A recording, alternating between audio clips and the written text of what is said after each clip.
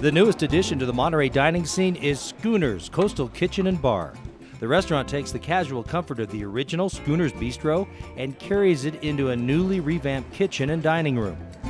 We started with original uh, restaurant, which was Schooner's uh, Bistro on the Bay, and it was such a successful restaurant that we really thought, you know, why don't we look to expand on that success and really build a fun, energetic, new age restaurant that really piggybacks off of the Schooner's concept that's been so successful thus far. The new Schooner's Coastal Kitchen and Bar is a labor of love for executive chef James Waller. For as long as I've been here, uh, almost 15 years, you know, I've wanted to kind of marry the Schooner's concept from lunch into this restaurant and create something that is, you know, right on the ocean like this. It just fits to serve the kind of food and it's, uh, it's a lot of fun. When it comes to the menu, Chef Waller's goal is to present straightforward, approachable cuisine. We're serious about what we're doing, but I think we're not serious about manipulating it a lot. We want to take uh, the food and, and showcase the food, whether it's a, great piece of fish or wonderful steak, and we're just simply cooking it over a great uh, wood-fired broiler. So there's not a lot of adultering of the food. Many of the dishes at Schooner's Coastal Kitchen and Bar are meant to be shared, an idea aimed at bringing people together.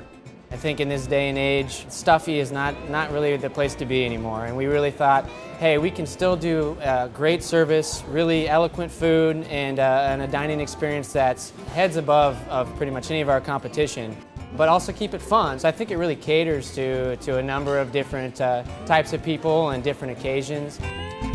We kind of wanted to open the door for everyone to come and see this exciting new concept and, and restaurant. Needless to say, all of this takes place right above the Monterey Bay. You look out the window and you can't even see the ground underneath. All you got is ocean popping up against the shore. It is magnificent. And the connection to the bay runs through the menu, which features sustainably sourced and caught seafood approved by the Monterey Bay Aquarium's Seafood Watch List. So, whether you're staying at the Monterey Plaza Hotel and Spa as a guest or just visiting the area, be sure to give the hottest new restaurant in Monterey a try. We want to create a name for ourselves and make us so unique and such a great restaurant that people come to the hotel and they stay for four or five nights and they eat in our restaurant four or five of those nights. The new Schooner's Coastal Kitchen and Bar at the Monterey Plaza Hotel and Spa.